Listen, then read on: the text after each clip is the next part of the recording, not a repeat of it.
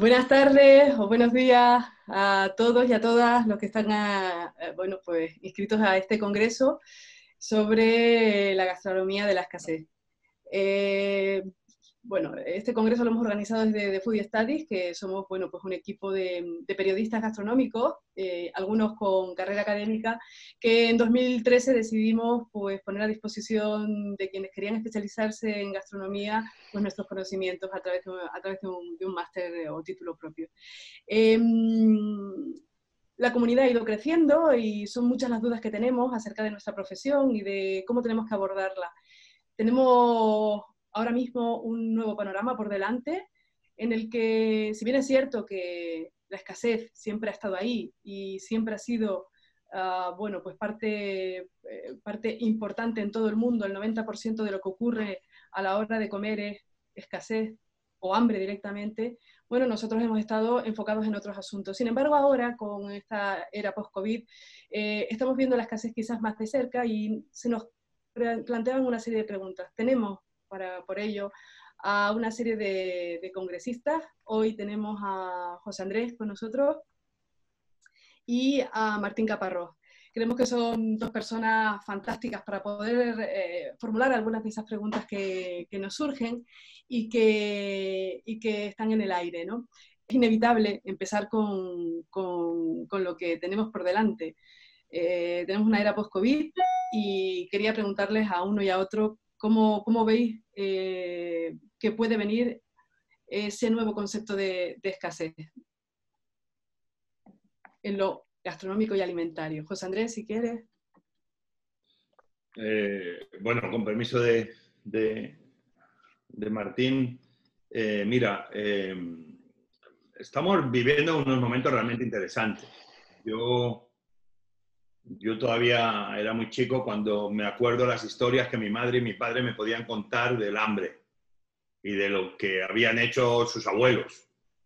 Em, em, y yo me preguntaba a mí mismo en estos últimos meses si yo realmente había eh, tenido sensación de falta de alimento cuando crecía. Mi, mi madre, mi padre eran clase media, obviamente no. Trabajaban, obviamente no pero yo sí que recuerdo muy bien a final de mes cuando las neveras estaban totalmente vacías. Mi nevera parecía que era la nevera del corte inglés antes de comprarla. Absolutamente vacía con tres cositas que eran los restos del pollo. Y mi madre era capaz de hacer cosas tan maravillosas con unas croquetas con un poco de harina y un poco de leche. Por lo tanto, eso es lo más cercano que yo he vivido a, a lo que es la escasez.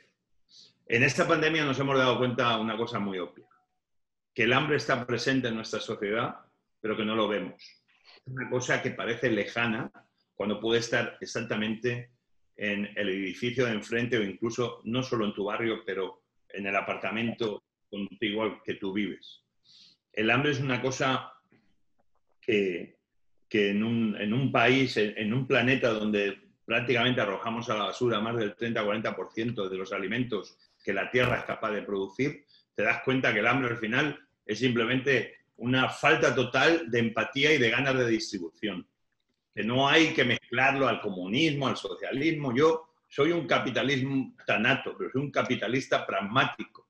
Yo no quiero que me vaya bien a mí si a la gente que vive a mi lado no les está yendo bien. No es en la sociedad en la que, en la que uno quiera vivir. Entonces, al final, aquí nos hemos dado cuenta que el sistema eh, está roto, que el sistema no funciona que en España, que yo tuve la, yo, yo aterricé en España en junio, cuando World Central Kitchen había abierto 16 cocinas y estábamos dando casi 50, 60 mil comidas al día con la ayuda de muchos cocineros, y nos dimos cuenta que esa España de la que yo me fui, donde yo no recuerdo que hubiera hambre, de golpe me vi una España que en muchos rincones había gente que nunca había tenido necesidad de estar en una cola para recoger alimentos y que de golpe se veían abocados a ello porque no habían comprado el desempleo, porque se habían quedado sin trabajo durante varias semanas, por lo que fuese. Y, esto es eh, lo que nos hemos dado cuenta, que el derecho de cualquier persona es poder ponerle comida a sus hijos en la mesa. Y que tiene que ser un derecho básico que a día de hoy, en el siglo XXI, aún teniendo una sobreproducción de alimentos, tenemos grandes grupos que siguen pasando el hambre. Y ya no hay que mirar a África, No hay que mirar a lugares lejanos en Asia o en Latinoamérica. Ah, en mi caso hay que mirar en Estados Unidos y hay que mirar en España. En los centros del poder hay hambre. Y aquí es lo que tenemos que reflexionar todos. ¿Cómo es posible que en una economía que en teoría iba más, como en Estados Unidos, donde no había desempleo, hayamos pasado de todo va bien a más de 50, 60 millones de americanos no saben qué van a comer mañana? Y esta es un poco la reflexión que hemos visto en este COVID. Martín, en este sistema roto y con esta perspectiva que no sé si compartes con, con José, eh, ¿cuál es nuestro papel como, como, como periodistas? A ver, antes que eso, hola, y antes, y antes que eso todavía déjame comentar un par de las cosas que decía José, porque es muy rico da para muchas, para muchas uh, observaciones. Yo creo que efectivamente entre los numerosos efectos que está teniendo esta pandemia en nuestras vidas y en nuestras sociedades, uno de los más notorios es que hace que muchas cosas que no veíamos ahora se hacen notar de forma ineludible, que no podemos no verlas.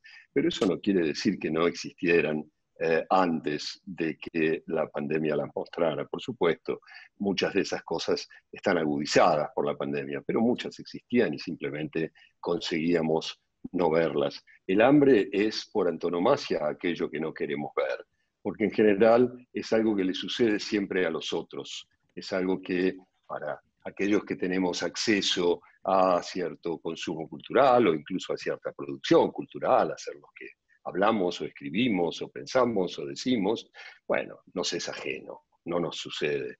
Eh, y en general no le sucede tampoco a la gente que nos rodea, por lo cual se hace muy fácil eh, dejarlo de lado, decir, bueno, eso es algo que le sucede a otros. Yo recuerdo cuando publiqué aquel libro que decías del hambre en el 2015, si no recuerdo mal, en España, hice una serie de búsquedas, ese mismo, hice una serie de búsquedas eh, porque eh, el libro este había sido publicado unos meses antes en América Latina, básicamente en Argentina, y, pero en Colombia, en México y demás, y cuando fuimos a hacer la edición española, dije, bueno, voy a hacer una mínima actualización de cómo es la situación en España.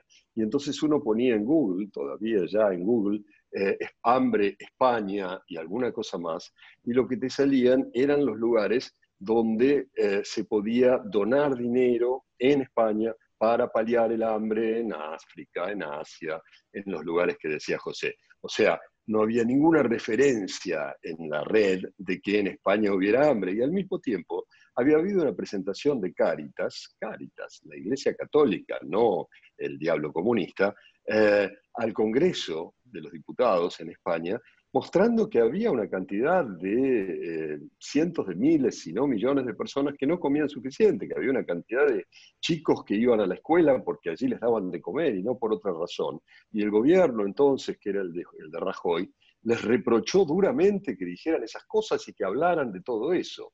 Quiero decir, este, nos resultó durante muchos años muy fácil eh, no aceptar que esas realidades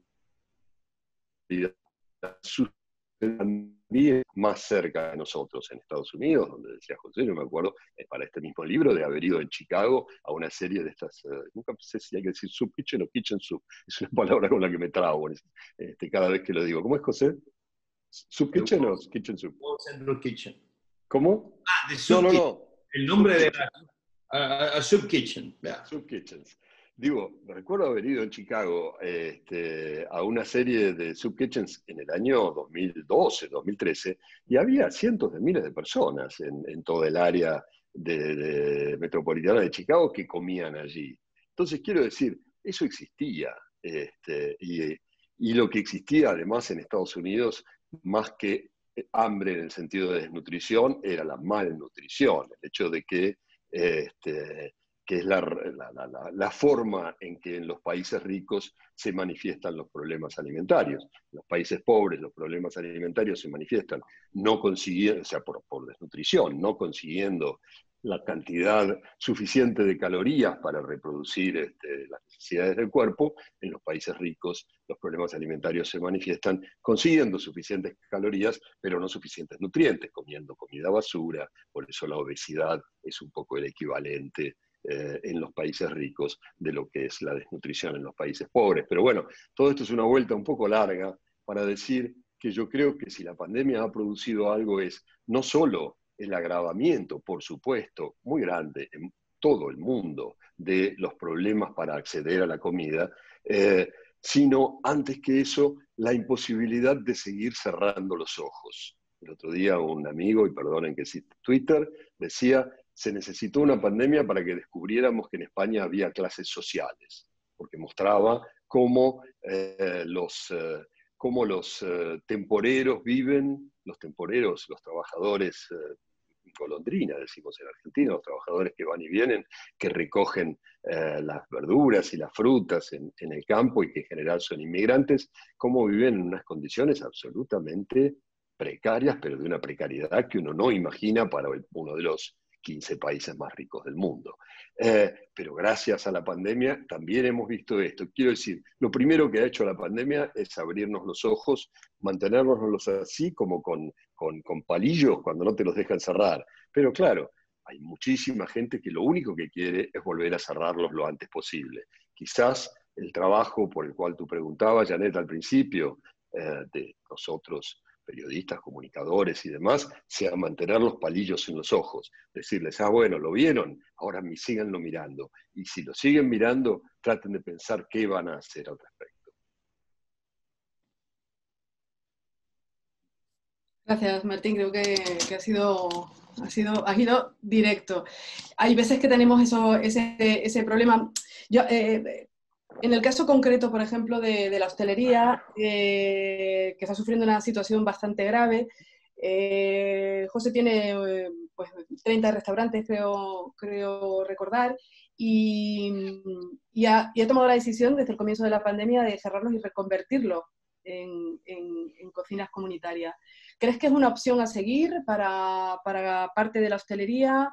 ¿Crees que es algo muy particular? Estamos viendo casos concretos de grandes restaurantes como el de Sacha o el restaurante del Selle, que pese a que han reabierto, bueno, pues luego vienen casos de COVID, hay que volver a cerrar. Es una situación difícil para, para, para estos grandes restaurantes, cuanto más lo será para restaurantes mucho más modestos.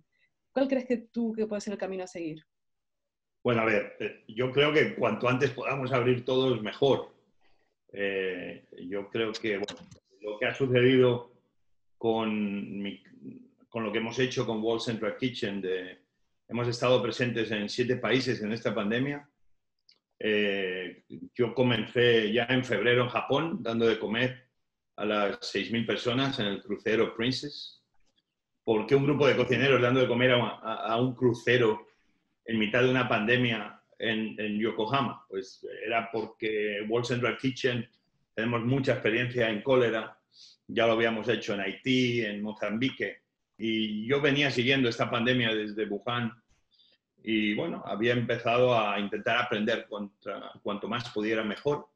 Cuando esto sucede, pues acudimos ahí un poquito a ayudar al gobierno japonés a una cosa que todo el mundo le parecía extraño. Eh, de ahí ya vamos a California, seguimos alimentando en otro crucero que llega a Oakland. Ahí ya nos empiezan a llamar los gobernadores. Y yo ahí ya, desde Japón, ya vi que esto iba a ser una, una explosión, era una, era una bomba de relojería y esto nos iba a tocar absolutamente a todos. De hecho, nosotros compramos casi 100.000 máscaras. ¿Qué hacemos cocineros comprando 100.000 máscaras? Porque veíamos, veíamos un poco el futuro, veíamos lo que venía y fíjate, eh, por desgracia sí fue. Obviamente, reconvertir los restaurantes, yo he tenido siempre esta vocación de dar de comer a los pocos. Yo quiero tener tres estrellas Michelin. Quiero que mis restaurantes sean muy buenos y si pueden ser los mejores. Eh, una competencia, considero, sana, de intentar ser tan bueno o mejor que tus compañeros, con los cuales muchos eh, llevo en esto desde que tengo 14, 15 años. Pero de la misma manera que doy de comer a los pocos, yo siempre he pensado que en nuestra profesión tiene que estar comprometida en dar de comer a los muchos, por una simple razón. Al fin de cuentas, ¿quién da, ¿quién da de comer? ¿Quiénes somos los expertos en dar de comer? Pues somos el mundo de los restaurantes, los cocineros. Tiene que ser una función nuestra importante el ayudar a acabar con los grandes problemas de hambre que hay en el mundo. Y eso puede suceder simplemente en nuestro barrio. No significa que todo el mundo tenga que hacerlo, pero sí que nuestra industria tiene que estar si cabe, más comprometida con ellos. En general están muy comprometidos. Siempre que pillas el teléfono, ahí aparecen. En América pusimos 3.000 restaurantes a trabajar. Eh, hemos llegado a hacer 350.000 comidas al día. Hemos dado de comer a indigentes, a ancianos, a hospitales, siempre responden, respondiendo a emergencias. Eh, ¿Qué emergencias? Que de golpe estaba todo cerrado. Eh, un hospital tenía que comer, la gente no iba a trabajar. ¿Quién daba de comer a esos doctores? ¿Quién daba de comer a los enfermeros, enfermeras? Eh, pues es lo que hicimos nosotros un poco. A la vez, obviamente, ya estamos en un momento que en teoría ya teníamos esto controlado. Hemos visto que aún esto va a durar mucho más. ¿Qué es lo que hay que hacer? Pues oye, el que pueda abrir, que abra. Yo ya he abierto mis restaurantes, seguimos con restaurantes dando de comer, pero estamos en un momento donde hay ambas cosas a la vez. Queremos abrir la economía, pero todavía no tenemos este virus controlado. Eh, y yo creo que en general lo que ha fallado es que nos hemos concentrado en la economía, nos hemos concentrado en muchos otros temas, en vez de concentrarnos en lo que realmente importa. Cuando yo he ido ahora al Líbano, hace, después de la explosión, y aterricé en Beirut, antes de coger el avión para ir a Beirut, me hicieron la prueba del COVID. Tuve que mostrarla antes de subirme al avión. Tal como aterrizaba en Beirut, me volvieron a hacer otra prueba. ¿Cómo es posible que España, que no deja de ser un gran país turístico, y que estábamos soñando de que agosto se salvara y que vinieran los turistas, que simplemente no tuviéramos un sistema de testado para que todo aquel que llegara a nuestro país llegara sano y tuviera una sensación de que estaba en esta burbuja, como están haciendo ahora en la NBA, en el baloncesto americano, para crear zonas que fueran sanas. Al final estamos viendo que se ha ido de la madre este virus, que es mucho más complicado de controlar de lo que parece, pero tal como te digo que es más complicado de controlar de lo que parece, yo tenemos miles de personas que han trabajado con nosotros y siete, ocho meses después, después de coger muchos aviones, visitar muchos hospitales, muchos estados, eh, varios países, eh, toda nuestra gente sigue sana. No hemos tenido casos, no hemos tenido que cerrar ningún restaurante. ¿Qué es lo que hemos hecho? Tomarnos muy en serio el llevar la máscara, tomarnos muy en serio el llevar guantes, tomarnos muy en serio lavarnos continuamente con gel cuando había eh, falta de agua, mantener las distancias. Cuando hemos hecho esas cosas, la verdad que ha funcionado. Por lo tanto, eh, repito, estamos, yo estoy en este momento que tengo que seguir dando de comer al que lo necesita, responder a las emergencias en aquellos lugares después de un huracán o un incendio. A la vez tengo esa gran necesidad de abrir mis restaurantes. Yo podría sobrevivir, mi familia va a sobrevivir. Yo, por suerte, estoy bien. Pero si tengo 1.600 empleados trabajando conmigo, tengo esa gran presión sobre mis hombros de intentar abrir de la forma eh, más eh, sana posible para mantener la economía funcionando, que ellos puedan tener trabajo, porque hay un momento que el dinero se acaba. Y si no tienen desempleo, ¿quién les da de comer a esas familias? Eh, por eso para mí ha sido tan importante querer abrir, para poder empezar a, darle la oportunidad a que muchas de estas personas puedan tener un lugar de trabajo y, arranquemos. Pero repito, estamos en un momento complicado y creo que lo hemos hecho más complicado por falta de liderazgo desde arriba.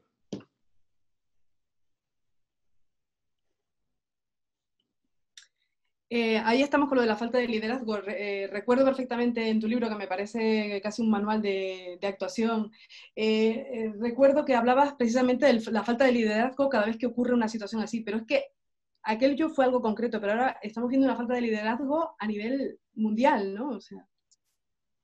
Bueno, eh, es que yo creo que en el siglo XXI nos vamos a empezar a preguntar todos, ¿qué es ser un líder? Em, ¿Quién quiero que me represente? Y creo que nos estamos dando cuenta que empezamos a tener muchos líderes de salón, muchos líderes de oficina. Y que yo creo que estamos en un momento que vamos a tener que empezar a tener líderes donde están, como dicen en inglés, the boots on the ground, ¿eh? con las botas en el suelo, en el lugar donde hay que estar solucionando los problemas. Yo considero que estamos en un momento que el mundo es lo suficientemente complejo para que el que no entienda que ser líder es estar allí donde los problemas aparecen. Es muy complicado yo pensar que nadie puede acabar con el hambre del mundo desde Naciones Unidas cuando nunca se hace una conferencia en los lugares donde hay hambre cuando muchas de las personas que hablan de la lucha contra el hambre da la sensación que ni siquiera han aparecido por los campos de refugiados. Es muy complicado ver que empezamos a tener líderes de salón con grandes mensajes que todo el mundo aplaude como si fuéramos focas en el zoo después de que nos han dado una sardina y donde se anuncia que se va a acabar con el hambre en el mundo, como eh, ha mencionado en el artículo que, escribió, por ejemplo, eh, en el New York Times Martín, eh, que le titularon Counting the Hungry, que recomiendo que todo el mundo, antes de, si no pueden leer el libro todavía, que lean ese artículo que publicó ya en el 2014 y donde ya en el 74 se anunciaba Kissinger a Naciones Unidas que se iba a acabar con el hambre de los niños en el mundo. ¿Cuántas veces hemos anunciado vamos a acabar con el hambre de los niños en el mundo? Y luego eso se queda en, palabras, palabras necias, ¿no? Por lo tanto, yo creo que necesitamos líderes y sobre todo lo importante es que la gente que pongamos líderes que realmente lo que predican sean capaces de ejecutar. Y para eso vamos a necesitar gente que aparece. ¿Cuántos líderes en España hemos visto en comedores sociales durante esta pandemia al lado de la gente que estaba dando de comer? Yo pocas veces lo he visto. He visto alguna vez porque cuando yo he aparecido, pues sí que ellos han aparecido. Pero podría repetir lo mismo en Estados Unidos. Por lo tanto, sí que el hambre es uno de los mayores problemas que ha sucedido de esta crisis económica y de esta crisis eh, sanitaria.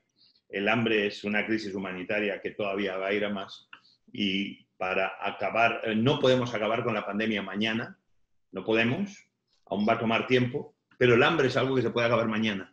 Solamente se necesitan líderes que tengan la voluntad política y la empatía de solventar ese problema en este momento. Martín, ¿y los periodistas seguimos aplaudiendo como focas o ves algo que, que nos haga cambiar y posicionarnos en otro plano más activo, más activista? Yo no veo, más allá de esto de que te decía, que la, que la pandemia nos ha impedido no mirar, pero yo recuerdo hace un par de meses hablábamos en un foro como este y alguien decía que eh, en América Latina iba a haber, eh, a propósito, digo, por causa de la pandemia, como, yo no recuerdo exactamente la cifra, pero se hablaba de 30 este, entre 20 y 30 millones de personas más que iban a tener hambre. Este, lo que pasa es que yo les decía, bueno, pero antes de la pandemia había ya 60 o 70 millones que no comían suficiente. ¿Necesitamos la pandemia? ¿Necesitamos que sean 30 millones más para ocuparnos de eso? ¿Qué, qué, qué nos impedía hacer todo eso que ahora supuestamente reclamamos cuando eran solo 60 millones? Este, yo creo que hay algo, y no sé si este, José va a estar del todo de acuerdo conmigo, que va más allá del liderazgo, que es el tema de la organización eh, económica y política del mundo que produce el hambre. no es necesariamente la falta de liderazgo, la falta de decisión. Eh, si, si, desde Kissinger o desde vaya a saber cuándo sigue habiendo líderes que dicen vamos a acabar con el hambre del mundo y si Naciones Unidas cada 15 años se reúne y lo mm, postula de nuevo y después pasan 15 años y ves que no pasó nada, etcétera, etcétera. No es necesariamente porque no querrían hacerlo o porque no terminan de saber cómo hacerlo, sino básicamente porque estamos eh, organizados de una manera en que no se puede, por ahora, tal como estamos, no se puede acabar con el hambre en el mundo, porque pasan básicamente dos cosas. O sea, la primera sería a favor. Eh, por primera vez en la historia de la humanidad somos capaces, somos capaces de alimentar a todos los habitantes de la Tierra. Esto es yo suelo decirlo, el hecho histórico más importante que la historia no registró. Eso sucedió entre los años 70, 80 del siglo pasado y gracias a desarrollos técnicos, muchas veces muy demonizados, eh, empezamos a ser capaces de producir alimentos para eh, todos los habitantes de la Tierra. Ahora se dice que la Tierra puede producir alimentos para unos 12 mil millones de personas. Somos 7.600 millones, o sea, sobra. Ese sería el argumento a favor. Somos capaces, por primera vez en la historia, somos capaces de alimentar a todo el mundo. ¿Por qué no lo hacemos? porque no producimos alimentos para 12 mil millones de personas. Producimos alimentos para que 1.500 o 2.000 millones de personas coman de una manera que no existió nunca en la historia de la humanidad. Quiero decir, este, esta cosa de lo que nosotros ahora pensamos como, como un plato clásico, habitual, tradicional, el enorme cacho de proteína, de carne, de pescado, de lo que sea, con el acompañamiento eh, de unas verduras o de unas harinas o lo que sea, esa es un invento de hace como muchos 100 años y así 100 años todavía lo comían los ricos. Quiero decir, en la mayor parte de los lugares este, se sigue sin comer, pero incluso en los países ricos es algo que no tiene más de 40, 50 años. Antes era al revés, había un poquito de carne, un poquito de pescado una vez cada tanto, una vez por semana si acaso, y el resto eran este, eso, patatas o nabos o, este, arroces o, la pasta que fuera. Eh, entonces, hay 1.500, 2.000 millones de personas que comen de una manera que chupa, digamos, todos los recursos alimenticios del mundo. Me gusta dar un ejemplo que me parece muy claro, que es el de mi país de origen, la Argentina, que si algo hace en el mundo es producir alimentos. Lo único que hace no sirve para nada, sirve solamente para producir este, alimentos. Decimos que podemos producir alimentos para 400 millones de personas. Eh, y sin embargo, somos argentinos unos 45 millones y en este momento hay 4 o 5 millones de personas que no comen lo que necesitan. El 10% de los argentinos en un país que solo se dedica a producir alimentos no come lo que necesita. Entonces uno dice, pero ¿cómo? ¿Por qué? ¿Qué pasa? Este, hay un problema de que no se distribuye bien, de que esto, de que lo otro. Bueno, hay muchos, pero el problema básico es que la producción argentina, como la de tantos otros lugares del mundo, no está dirigida a alimentar a los argentinos. Se produce sobre todo soja para exportar a China, para este, engordar cerdos y pescados chinos, este, y sobre todo para engordar los bolsillos de los dueños de los campos eh, que producen esa soja.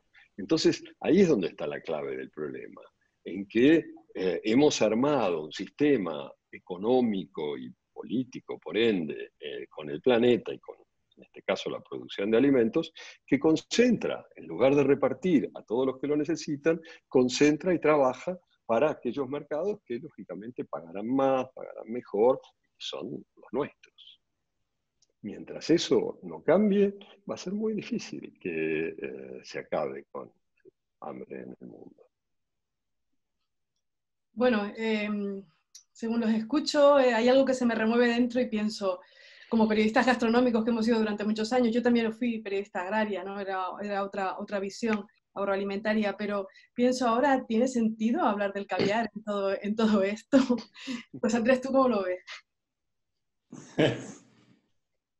Yo en, marzo, una vez que ya eh, me di cuenta, a finales de marzo, que mis hijas pues regresaron a casa de la universidad y nos quedamos todos aquí durante varias semanas, eh, empezamos a cocinar mucho en casa y empezamos a publicar, a grabar los vídeos sin preparar. Simplemente grabamos el primer vídeo mientras mis hijas y yo estábamos cocinando descalzos al ritmo de la canción que habíamos elegido ese día.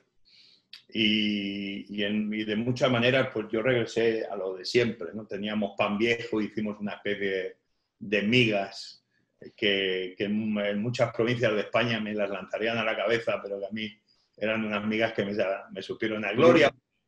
Me recuerdo de la primera vez que yo vi unas migas de un tío lejano mío en Teruel, en la, en la provincia de Teruel, que yo tendría 6, 7 años y llegamos a, de noche a una casa de esos muros fríos y gruesos eh, y tenía un caldero y me acuerdo todavía de aquellas migas y es algo que se me ha, y empezamos a hacer platos, empezamos a hacer platos así, ¿no? Obviamente tenemos que entender que sí, que detrás de, comer unos buenos erizos también hay un montón de puestos de trabajo. Detrás de un buen caviar también hay un montón de puestos de trabajo. Eh, por lo tanto, yo creo que hay cabida para todo. Yo creo que ahora mismo estamos viendo que se está consumiendo más vino que nunca. Eh, tú les preguntas a muchos de los productores de vinos y, todos te dicen que no les está, a muchos, eh, te dicen que no les está yendo mal. Por lo tanto, yo celebro absolutamente, celebro todo. Yo creo que sí, que tú hablas de, televisión y de prensa y de radio y, todos los que tenéis el poder de transmitir. Yo sí que he sido muy cuidadoso en los programas que he estado haciendo, o en los Zooms, o en los YouTubes, de, hacer cosas eh, que yo considero que mucha gente es capaz de repetir y duplicar en sus casas, ¿no? Eh, eso puede ser independiente si alguien se toma una lata de caviar en su casa o no.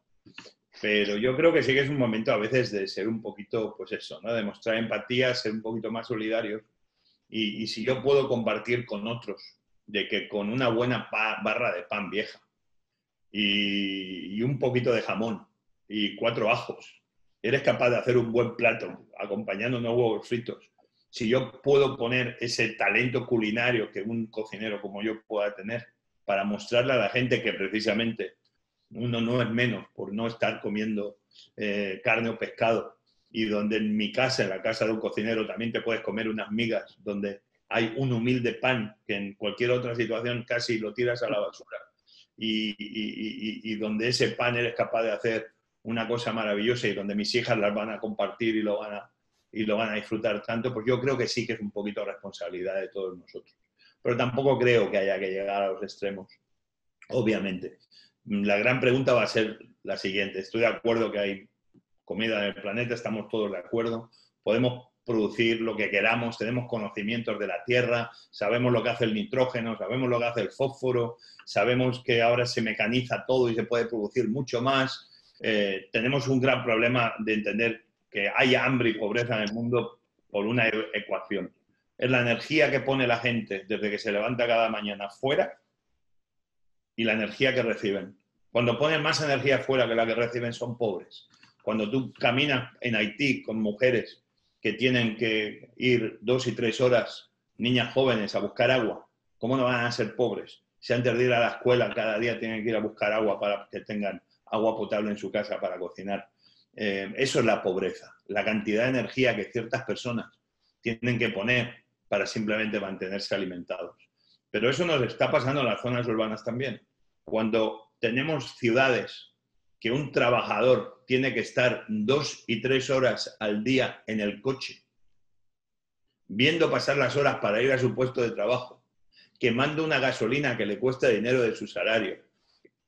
No nos damos cuenta, pero todos estos pequeños detalles hacen que a la larga eh, seamos todos un poco más pobres y no invirtamos donde hay que realmente invertir.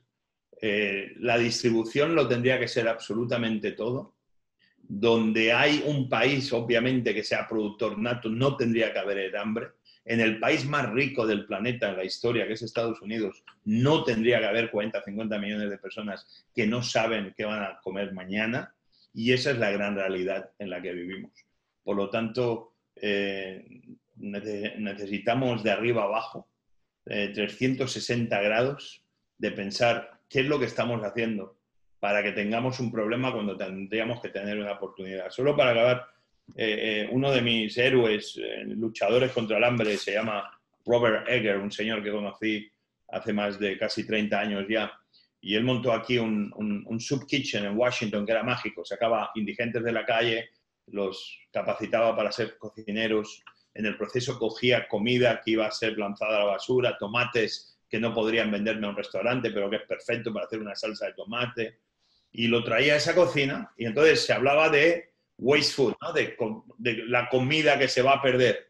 Pero él hablaba de que hay que hablar más de las personas que perdemos, de las personas que no forman parte de la sociedad, de que hay que salvar esas vidas humanas para que sean, eh, participen en, nuestra sociedad.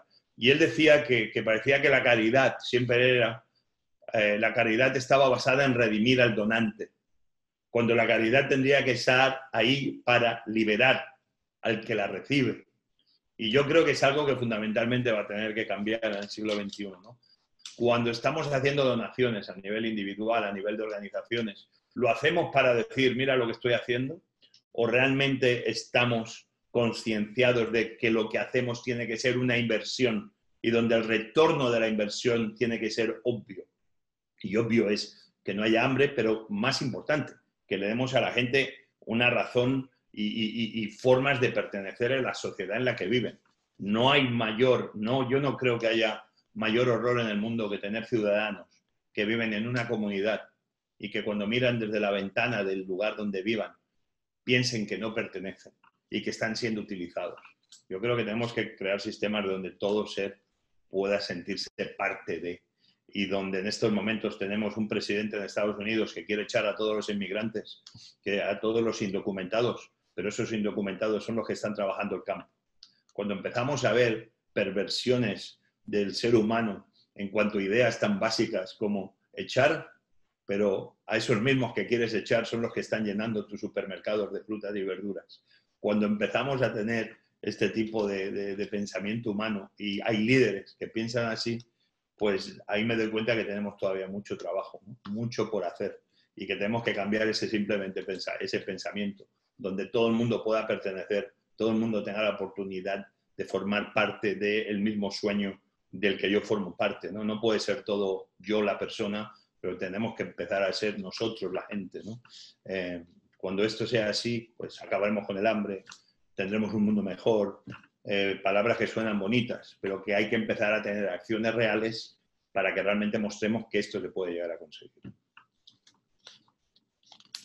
¿Ves cambios, Martín, eh, con respecto a, lo que está comentando José? ¿Ves un cambio de perspectiva por parte de la gente? Entender que, lo que tú aportas es una inversión que tiene su retorno y es que esas personas formen parte de un sistema. Mm, no, ojalá, ojalá lo viera. Por el momento no. Este, por el momento no. Y es curioso porque justamente la pandemia podría enseñarnos, entre otras cosas, algo de esto, justamente por lo interconectados que esto ha mostrado que estamos. Quiero decir, eh, eh, desconectarse porque estar conectado es peligroso. Eh, entonces, ¿qué vamos a hacer con eso? ¿Cómo vamos a recuperar la idea de que hay que reconectarse, digamos? Esta cosa espantosa que se ve, que, así anecdótica o no, eh, en que uno va por la calle y ve como todo, todos te miran y tú miras a todos como el peligro, eso que decía este Sartre, ¿no? La c'est les autres, el, infierno son nosotros. Creo que nunca se había visto tan claro en nuestras vidas cotidianas como desde que empezó la pandemia, porque cada, cada cual puede ser el portador de tu desgracia. Este, son días en que hemos vivido eh, basados en el miedo, hemos vivido para el miedo. Quiero decir, hemos aceptado por el miedo, cosas que no habríamos aceptado en ninguna otra circunstancia.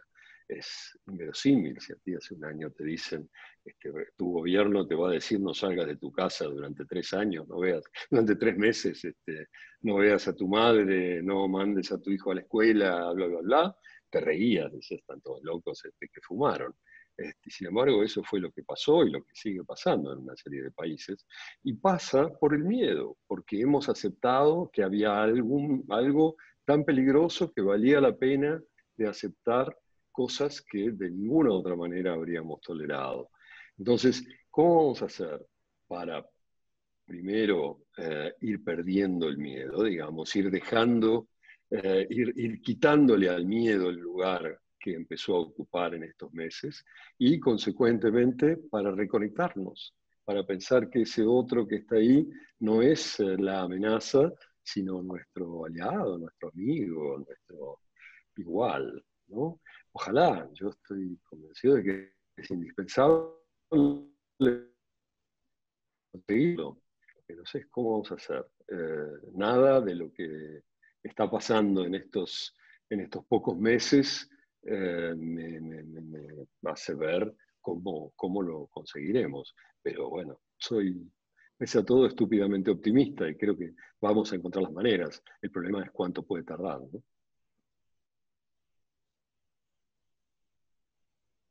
Tenemos una pregunta que, surge a través del, chat de YouTube de, los congresistas que nos están viendo y de las personas que están viendo, que la mayoría son bueno, pues periodistas o también investigadores de universidad, bueno, en fin, y eh, por supuesto gente también eh, relacionada con la, gastronomía como chef y otro, en otros puestos. ¿no?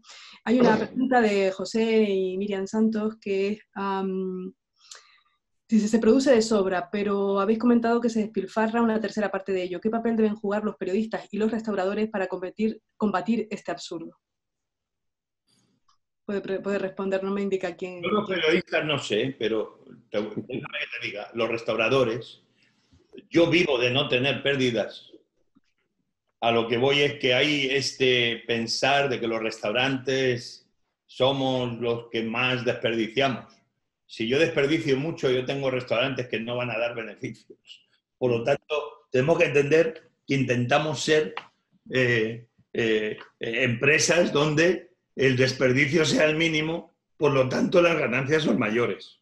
Por lo tanto, no se soluciona con los restaurantes. Los restaurantes somos parte de la solución, porque el restaurante que despilfarre, déjame que te cuente, este restaurante está cerrado y está fuera del negocio tenemos que entender que mucha de la comida que se desperdicia, yo que he tenido la suerte de estar en muchos países del mundo en el campo, yo he estado en Florida haciendo programa de televisión para Univision y estábamos con eh, muchos indocumentados, personas de Honduras, de Guatemala, que llevaban muchos años trabajando en Florida, en esos campos, y recogían ocra y más de la mitad de la ocra que recogían la tiraban al suelo. ¿Por qué? Porque esa orden de ocra iba a un supermercado que solamente querían la ocra de este tamaño. La ocra más grande, aún rica, como no se pagaba por ella, ellos lo que hacían era arrancarla y tirarla al suelo para así ya irse quitando el producto que no les vale. Mucha de la comida que se desperdicia sucede en el mismo campo de cultivo. Mucha de la comida que se desperdicia. Sí que es verdad que uno podría decir, pero desperdiciamos mucho en el punto final que es en las casas, en las neveras.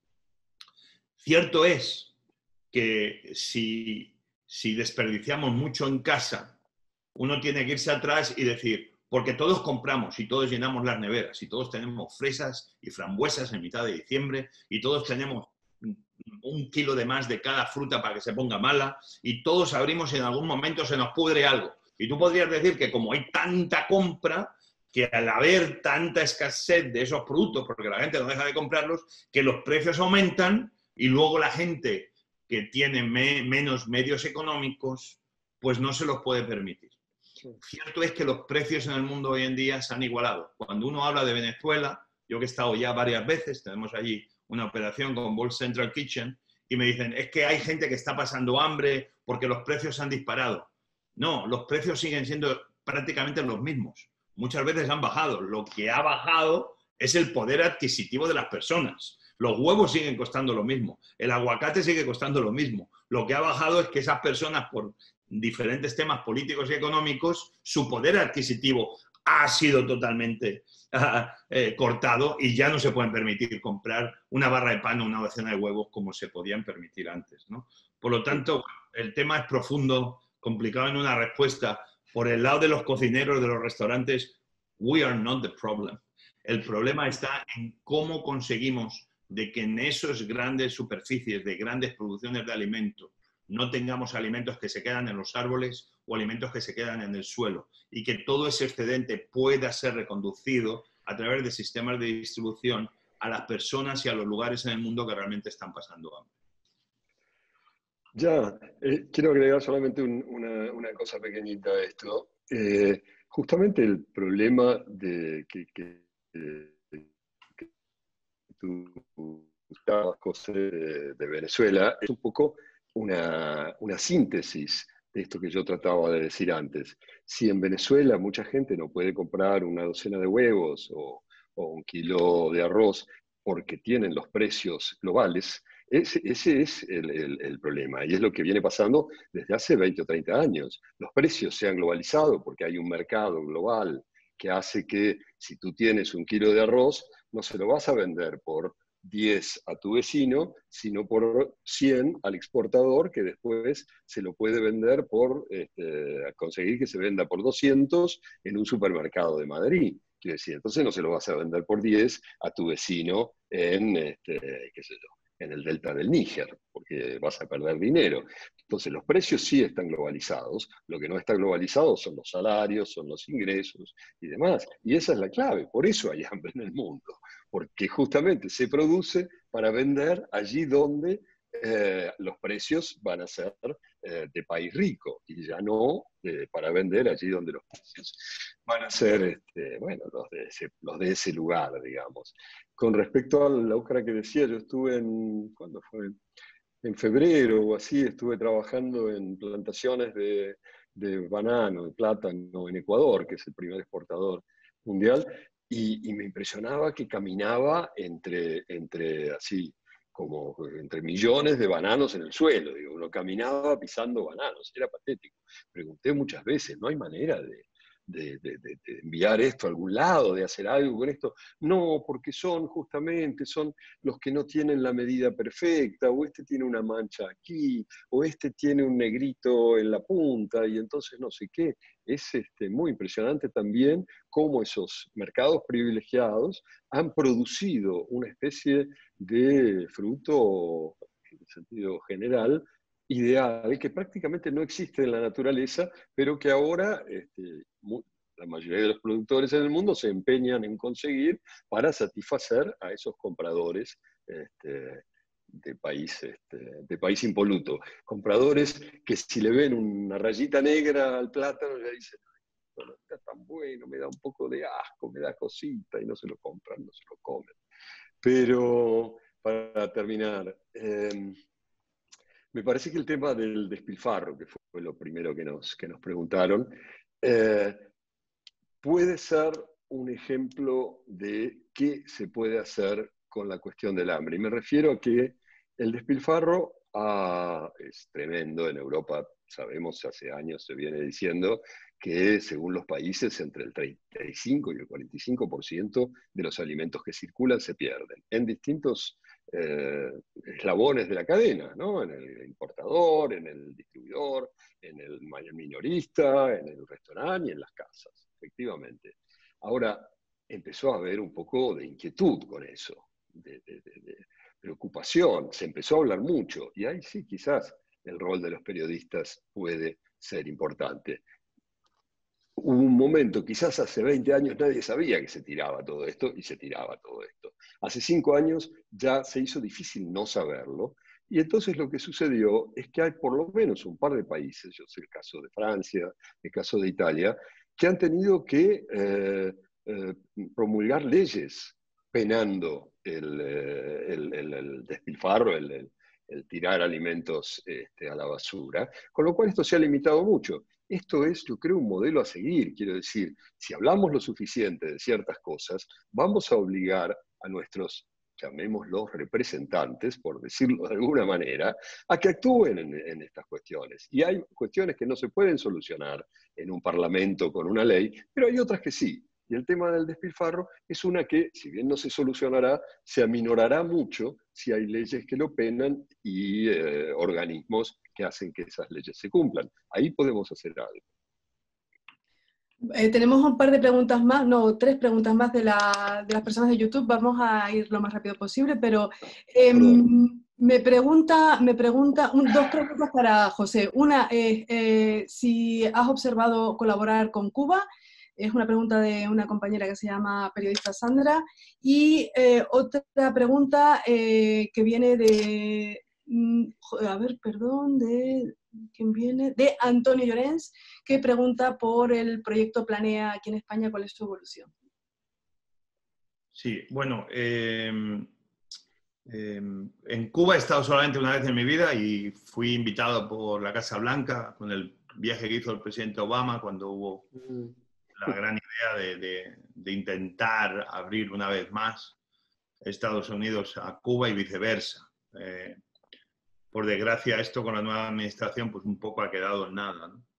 Em, yo en Cuba tengo ganas de ir, lo que pasa que ha sido complejo de, regresar. Yo, mi, mi, mi ONG, la ONG que fundé es pequeña todavía en esencia sí que es verdad que este, esta pandemia hemos hecho, vamos ya camino de 40, 50, 40, 50 millones de, comidas. Eh, ya no somos tan pequeños, pero, pero estamos un poco, digamos, eh, estamos en el extremo de, nuestras posibilidades. Ha sido muy costosa esta pandemia, ha, habido eh, por muchos motivos. Eh, no, se apoya a las ONGs de la misma forma antes que antes de la pandemia, cuando la necesidad, si cabe, todavía ha sido mayor. Por lo tanto, yo Cuba sí que le tengo mucho cariño, mucho respeto y me gustaría poder estar allí a contribuir, pero por desgracia en el Caribe hay otros lugares que diría que están en una situación realmente eh, difícil, como puede ser en Haití, donde poco a poco pues cada vez tenemos más, más presencia. Eh, tengo allí, tenemos ahí una escuela que fundamos casi hace nueve años, donde chicas jóvenes las capacitamos para ser cocineras y luego les encontramos trabajos en lo que esperamos sea una industria del turismo que, que vaya hacia arriba. Estamos muy presentes en, en, Bahamas. En Bahamas hicimos casi 4 millones de comidas después del huracán del año pasado, Dorian. Fuimos la primera ONG que aterrizó 10 eh, días antes de Naciones Unidas, 10 eh, días antes de, de, la ayuda americana. Eh, y ahora ya estamos en la siguiente fase, que es ayudando a, a, reconstruir esas zonas que fueron azotadas por el huracán, invirtiendo en pequeñas granjas, en reabrir una productora que había de, granjas de pollos y de huevos.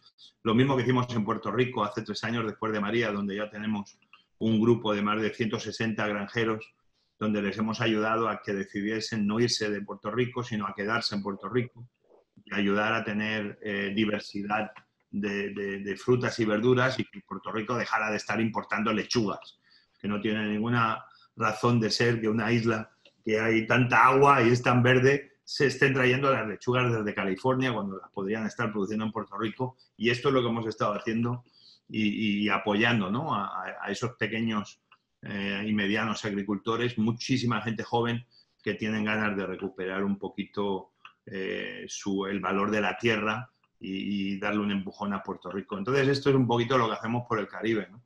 aparte de seguir respondiendo a, huracanes y demás. Pero Cuba, pues a mí me encantaría, a ver, yo no te voy a mentir, a mí me encantaría que World Central Kitchen no existiera. Me encantaría anunciar mañana mismo que, se que cerramos porque no tenemos trabajo. Eh, nosotros no somos una ONG de lucha contra el hambre. Nosotros fuimos una ONG que realmente respondía a emergencias naturales y dábamos de comer inmediatamente. Em, eh, para mí es a veces complicado. Yo por eso cuando hacemos algo siempre intentamos ya quedarnos con proyectos, porque aprendemos, una vez que respondemos a la emergencia, cuáles son las necesidades de la gente, porque ellos nos las cuentan. Entonces siempre intentamos quedarnos con proyectos que nos permitan tener un ancla para formar parte de esa comunidad en, el, en, en la posibilidad de que en el futuro vuelvan a tener una emergencia, como es el caso de Puerto Rico cuando ha habido terremotos o cuando ha vuelto a haber un huracán, tenemos ya tan buena infraestructura que somos capaces de responder rápidamente. No porque respondamos nosotros, sino porque responden los propios puertorriqueños con los sistemas que hemos creado. Eh, por lo tanto, Cuba, yo espero algún día volver allí pronto y, poder contribuir. Hay mucho que aprender también de, Cuba eh, eh, en cuanto a sanidad y demás, pero obviamente eh, yo creo que la gente joven de Cuba está pidiendo un cambio y esperemos que, todos lo podamos ver, ¿no? Y que la gente de Cuba... Eh, quería mencionar, ya que he dicho la gente joven, ahora que venía de Beirut, eh, me quedé increíblemente impactado cómo la gente joven en menos de 24 horas salió a la calle con guantes o lo que tenían, escobas y empezaron a limpiar las calles de Beirut. Seis días después, todas esas calles que estaban llenas de escombros, de cristales, estaban totalmente limpias. A ver, limpias, limpias después de, lo que nos podemos imaginar, pero las calles habían sido barridas, eh, los escombros estaban siendo recogidos en menos de seis días.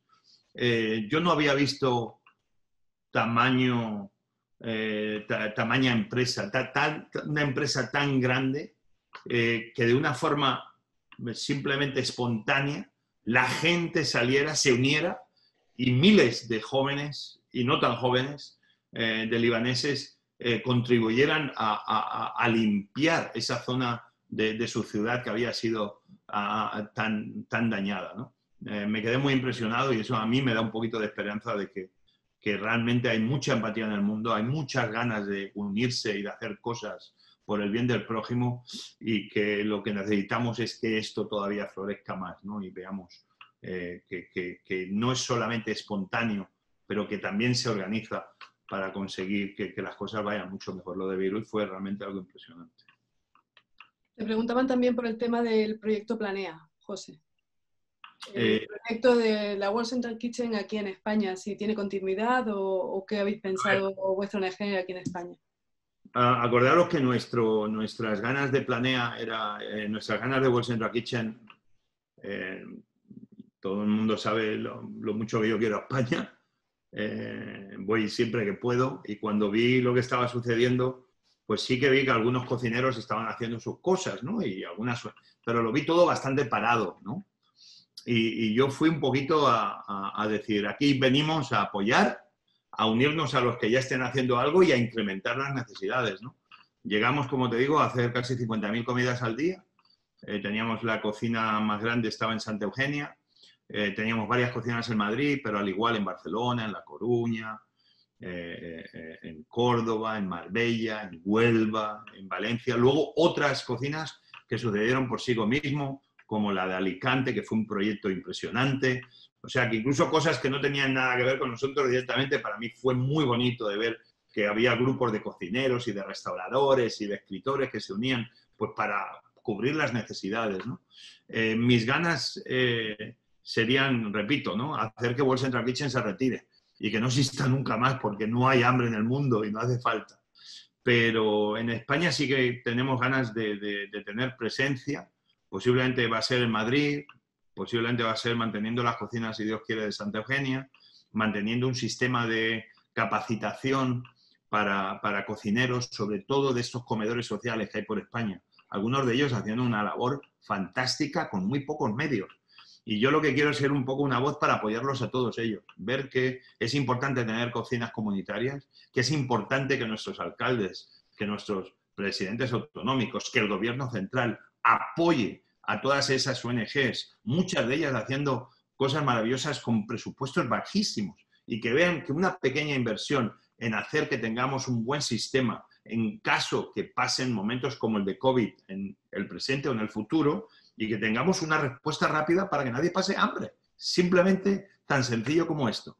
Hemos visto cómo había granjeros lanzando comida ah, porque nadie, eh, no había nadie a quien vendérsela cuando a la vez teníamos colas del hambre en diferentes ciudades de España, en diferentes ciudades de Estados Unidos. Seamos inteligentes y en momentos así multipliquemos las posibilidades. Que haya dinero para comprarle a estos granjeros, para poder llevarlo a las cocinas comunitarias, para poder repartir la comida a través de los bancos de alimentos y evitar que en momentos así nadie pase por, por problemas de alimentación.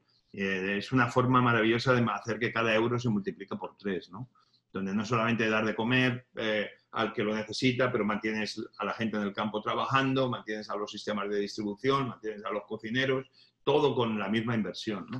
Por lo tanto, mi idea es, por supuesto, seguir, eh, pero yo aprendí mucho, aprendí de mucho del buen trabajo que hacen los bancos de alimentos, aprendí de varias varias eh, eh, cocinas comunitarias. Eh, hay una que se me olvida el nombre, que es antiquísima, de las más viejas de España, que está en La Coruña, en el corazón de La Coruña.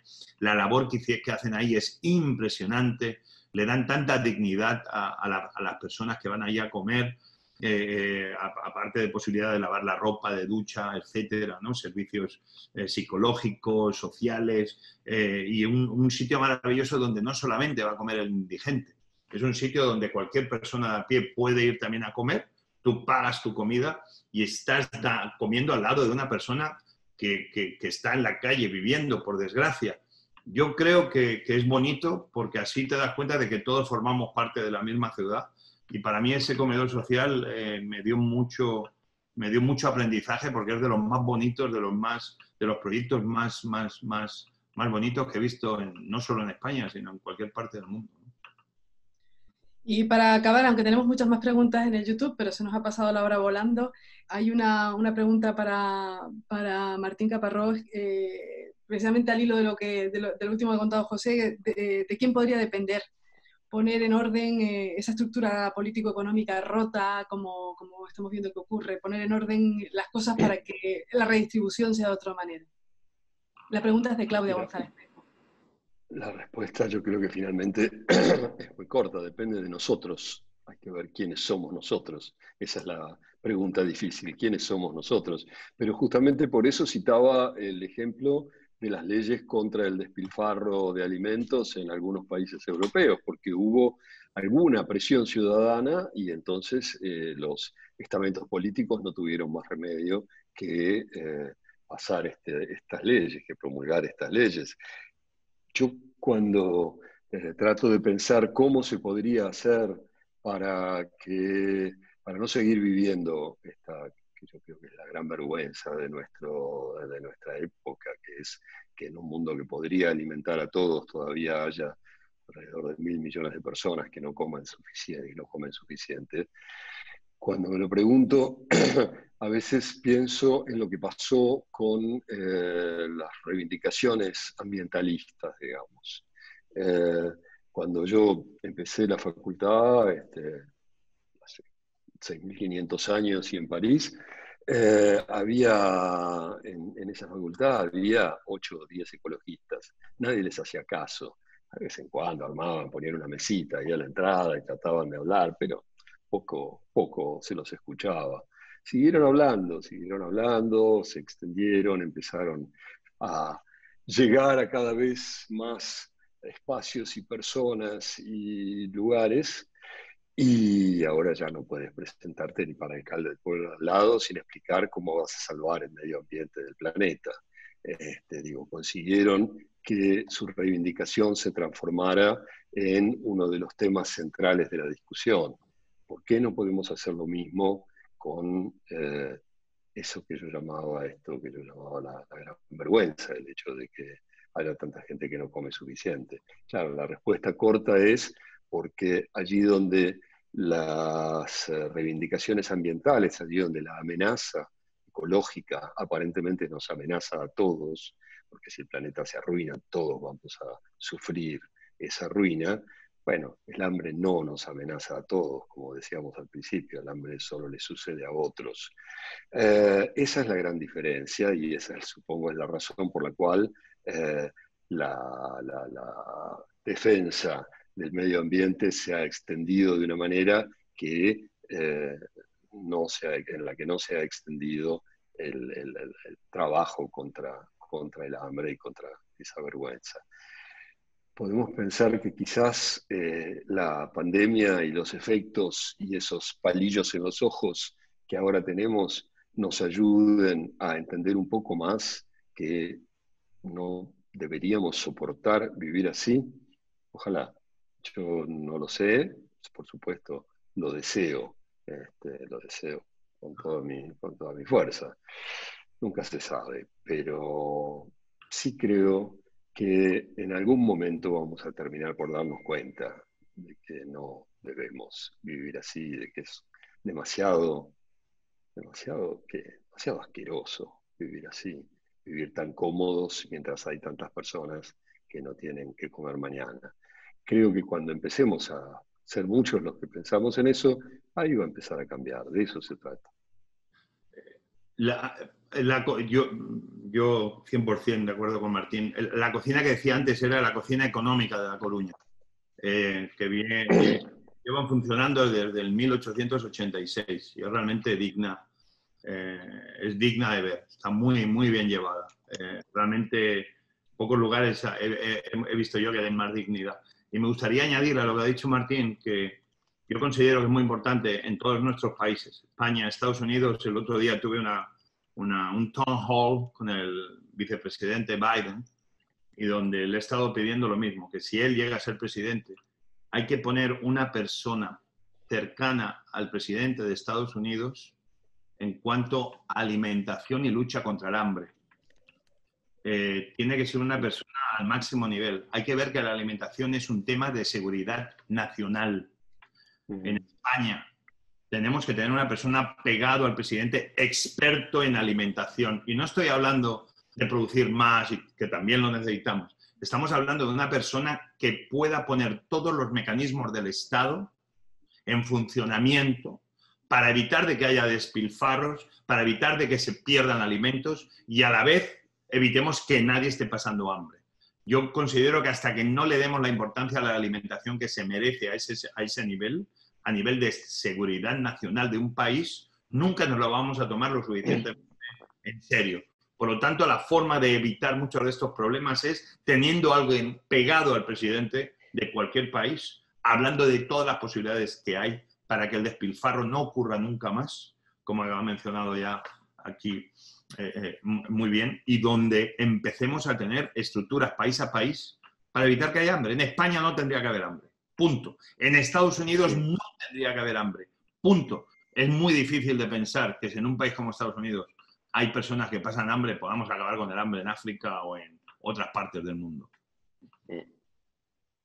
Bueno, pues muchísimas gracias. Seguiría toda la tarde hablando con vosotros, pero entiendo que nos tenemos que ceñir a la hora. Ha sido de verdad un gustazo poder, poder compartir esta conversación y desde luego nos dejáis muchas muchas ideas y muchos puntos para reflexionar, no solamente como profesionales, sino también como personas. Muchas gracias a los dos. ¿eh? Hasta pronto. Gracias, gracias. Gracias, Martín. A ti, José. Y a ti, Janet, por supuesto.